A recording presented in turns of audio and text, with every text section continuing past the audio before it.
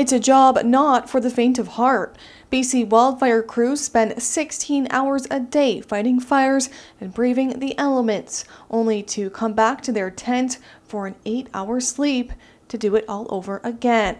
At the camp, there are approximately 330 people.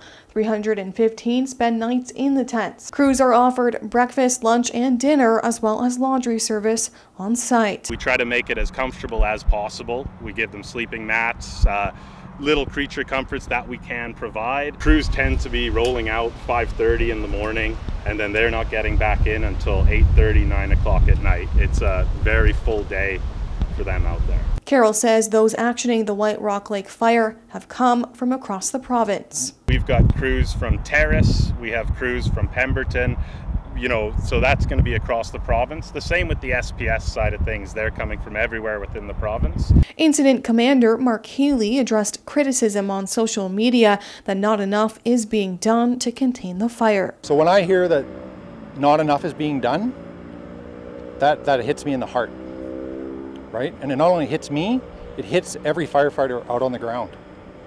That's the hardest thing to hear. When we work extremely long hours over an extremely long summer, and the crews on the ground, they, they're young millennials who live on social media.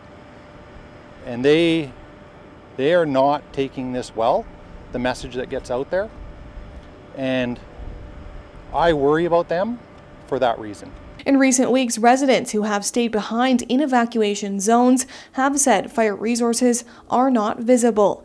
Deputy Minister of Forests Rick Manwaring said crews are present but don't stay in one place for a long time. Fires are managed in stages often, and incident commanders like Mark will uh, take steps, put people on the line to build guards, pull them off to do aerial attack, uh, so people will see resources come and go on fires.